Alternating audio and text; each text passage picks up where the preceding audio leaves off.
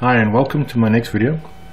In this video I would like to deal with what I call research identification and to get there um, for, to get to the documentation you go to wiki.lib as usual uh, click on this link here the IR guide link scroll down to customization and then scroll down to researcher identification using the ORCID server so we click on there uh, just a few notes. Uh, it's very important to eliminate author name ambiguity with researcher information systems.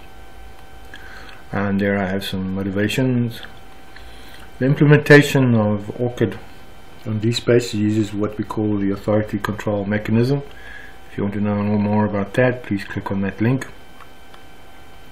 And then here I have some uh, researcher identifier references. So there's the ORCID ID, the researcher ID with Thomson Reuters that you're familiar with. And then there's an international standard name identifier as well. And then some bug reports. Uh, we submitted this bug report about uh, duplicate author names in the discovery browse index and um, the fact that you can't update the authority index when Tomcat security is enabled. So we submitted those two bug reports. And um, we did have ORCID implemented but uh, the repository manager requested that it be disabled because it caused problems with, as I said with this bug report uh, with the duplicate authority uh, with the duplicate author names being displayed. But anyway if you'd like to implement it um, please click we're going I will show you by clicking on this link if you'd like to follow up these bug reports please contact Matthew Buys of the ORCID organization he's uh, represented for the Africa or Europe EMEA region. Um, he's trying to um, expedite uh, the fixing, the bug fixing of these two. Okay, so let's go into the implementation.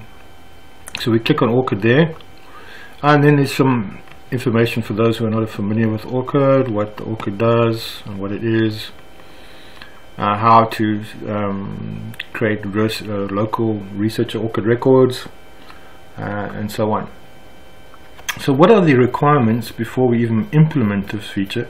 You have to make sure with your campus uh, network administrator that you have access to these two API websites of ORCID.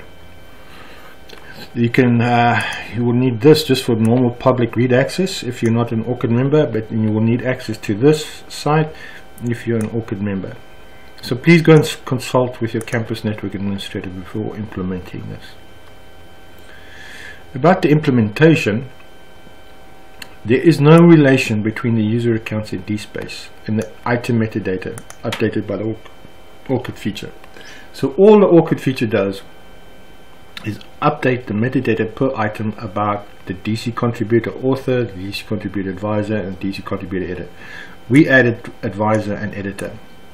So it updates the metadata per item um, in these metadata items there is absolutely no link between the user accounts and DSpace. So this is not a researcher profile system on DSpace. This is simply updating each item with the ORCID metadata information from ORCID per author, per advisor, and per editor, the way we implemented it. That confused me a lot in the beginning. I thought there was a relation. There is no relation. And again, just a warning before implementing, please check that bug report. Okay, so how do we do this? Alright, first thing to do is we're going to log into the server. So let's do that. Um, I've logged into my local server here. Uh, if you remember, it's that uh, server with the uh, 192.168.27 address. So I've logged into the server as the DSpace user and then we go and modify the dspace config file and let's do that we paste that in there okay so now what we want to look for is this plugin. We need to enable this plugin. We have to remove the comments to enable that plugin there as mentioned there. So let's go and look for that. We type control W and we're going to try and find plugin.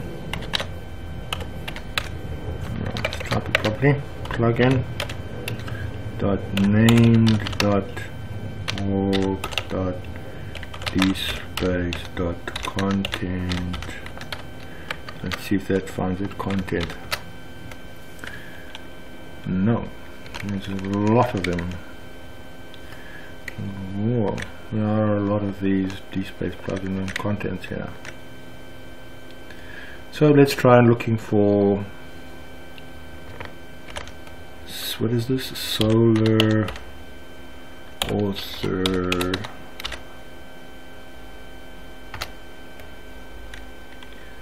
ah there we go. There we found it. So here it says the uncomment to enable ORCID authority control which I did previously uh, and here I tried to do this video briefly but the, the, the video crashed so there. There were two comment there were two hash signs if comments which were removed to enable it. So we have the authority control ORCID authority control enabled and we type control O to write it out to save that. Then what's the next step? We have to enable this consumer so let's look for that. Let's try and see if my search will take a copy and paste. So let's copy that. Let's see. And type control W to search.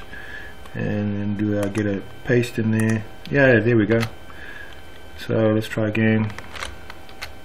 Another one. Okay. So there we want to make sure here that the event dispatcher default consumers has authority in the front. There so I added that authority in the front there as per the example here there. I added authority there. And then we save the file. Okay? And the same thing there in the dspace config file. So the next thing to do then is to um, define um, the metadata to do the lookup. So again in the dspace config file so we need to look for um, this one here in the config file. So let's copy that. Control W uh, right click and paste it in there. And let's have a look. Okay so all of this was commented out which are uncommented. And I added these two. We wanted to do that as well on our production server. So I added those two. And I've got the Solr authority there so forth. Okay right then the next step is to now do the authority services, ORCID authority service XML file. So we get out of there and we want to go into here, copy that and paste that in there. And we're going to look for this property name field default. So we go down, keep looking there. Okay, there we go, property names defaults okay so now I added the, these two entries here. There those two entries are added by copy and pasting from here. And then I save the file like that and exited the file. So then the last step is to rebuild DSpace which I'm not going to do. I'll leave that as an exercise for you. And after the rebuild you run this command to create the actual index authority um, just remember it might take a long time. If you have many items it has to go through every item in the metadata. It takes quite a while okay? So prepare yourself to do that. Then um, if Tomcat is security is enabled this has problems as per the bug report which we submitted. So to uh, to start up the index authority it's a good idea just to disable Tomcat security and then re-enable Tomcat security. The other thing to do before running that, that command is also to make sure that, the, that it has full read-write permissions to the Solr folder. Okay. Um, and then also please read this um, about authority control etc. It's not exactly clear to me but it's good background information. And then the last step is to maintain the authority index and to run run it re regularly and here are the instructions to run it regularly. Um, and if you want you can export the authority records uh, for archiving or, and for um, lookup. And then I have some screenshots of what it looks like when it's enabled. When it's enabled you get the lookup button on the submission form. You do the lookup. Or on the you, if you do an item metadata um, edit you get the lookup button. Then it does the lookup there and if it uh, finds it will finds the lookups normally in italics no, no, no, the italics is already previously looked up. Anyway um, use that and um, that's how it works. Well, when it's uh, properly enabled and screenshots show you. Okay I just want to check if there's anything else of interest uh, before I finish this video as I said please review these two bug reports before you decide to implement this and um, please support Matthew Buys in trying to get the uh, this ORCID implementation done correctly on DSpace. Thank you very much. Goodbye.